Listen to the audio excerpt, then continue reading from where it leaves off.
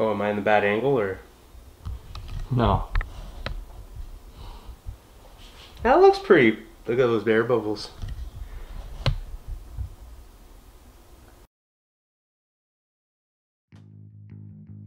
Crush the garlic first.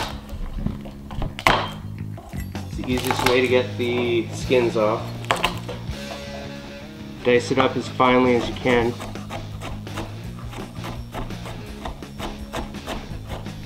Throw the parsley on.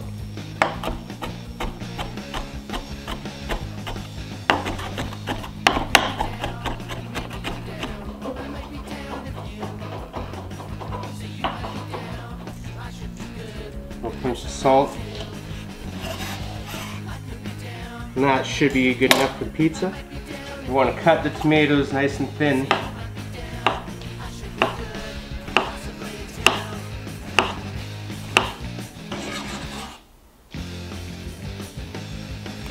Want to get the freshest basil you can find.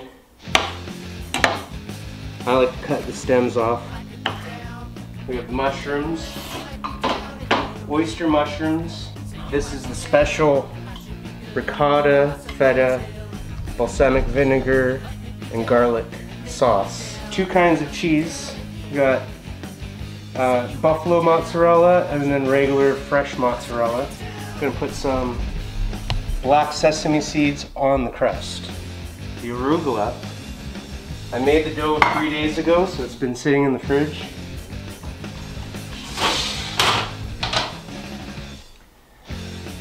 Even though it's a non-stick pad, still put flour down.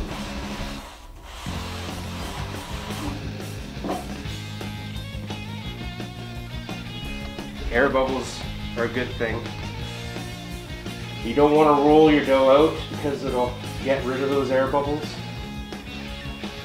Use your whole arms as much as you can. Don't be afraid.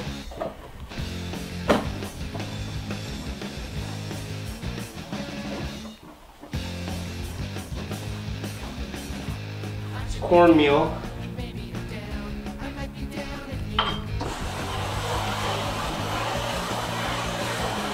Put a nice, good coating on that. This is what makes it not stick to the pizza peel.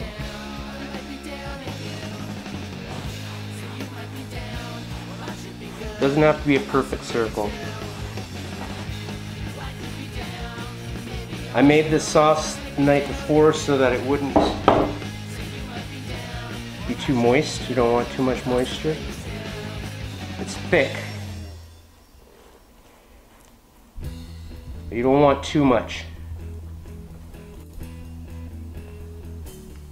Put the water buffalo mozzarella on first.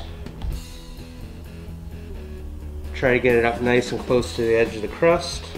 If you don't, the crust will get huge. Kind of weighs it all down. And then the fresh mozzarella in the middle has less moisture.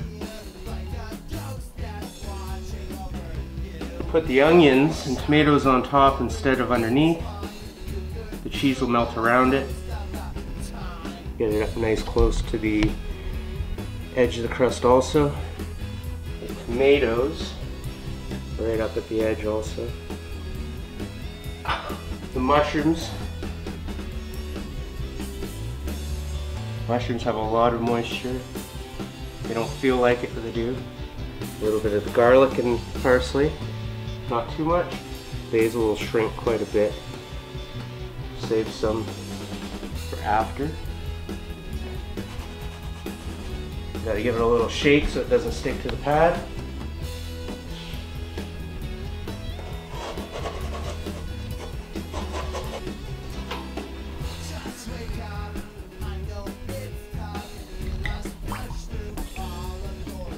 Glazed balsamic vinegar.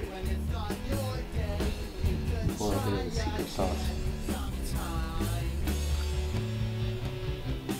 It's basically a salad dressing perfect for arugula. Basically putting salad on top of the pizza once it's done. That's okay. garlic butter will make that better. Sourdough is supposed to be dark anyways.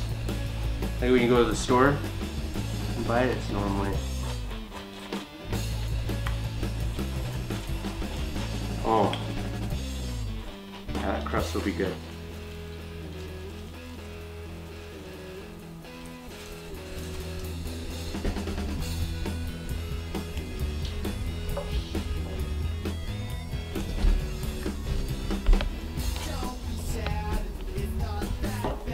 This is my Holland Boska cheese knife. It's meant for cutting giant wheels of cheese.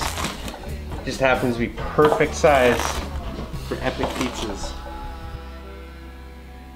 That should be perfect.